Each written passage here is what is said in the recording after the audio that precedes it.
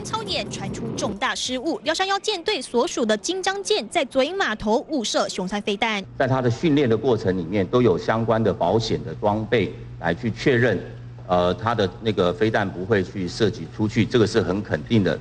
那那有关在这个人员操作上面，绝对是我们这一次所认为它最大的噪音在这里。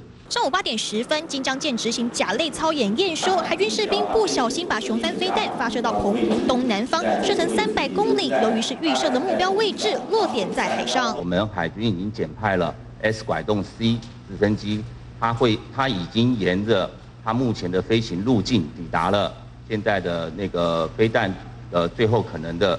它的一个假想目标的位置点。海军紧急搜寻飞弹残骸，这一发射，一枚造价一亿的雄三飞弹报销，而且飞弹向西边飞，相当敏感。飞弹它是实弹还是空包？是一个实弹。有没有飞过海峡中线？呃，肯定我们目前所掌握它的飞行航迹是没有。啊，参数的部部分，如果说它这个这个这个，就我现在目前所了解，周边啊周边目前是没有。